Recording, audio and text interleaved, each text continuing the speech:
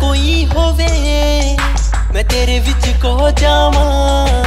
ਤੂੰ ਮੇਰੇ ਵਿੱਚ ਖੋਈ ਹੋਵੇਂ